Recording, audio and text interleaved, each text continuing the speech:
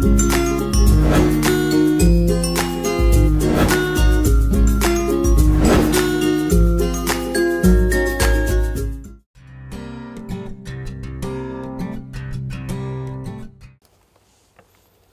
everyone, welcome to Naresh Technologies.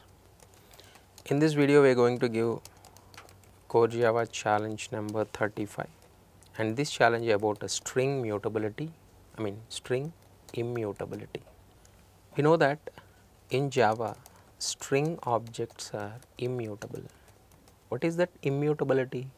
Immutable object state, immutable object state, state means what? The data, information cannot be modified cannot be modified once it has been created.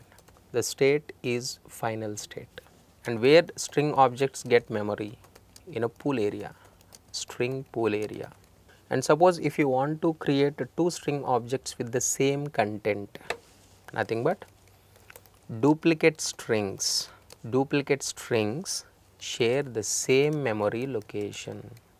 See here the task is what? Just create two string objects with the same content and check check the memory address of both the objects. Definitely it will show that same address for both the objects because the content is the same and next one modify one string because we have created two string objects right modify one string how to modify means what? By concatenating any other content. Initially both are equal, next both are not equal. As soon as you modify the string, then a new memory will be allocated will be allocated to modified string.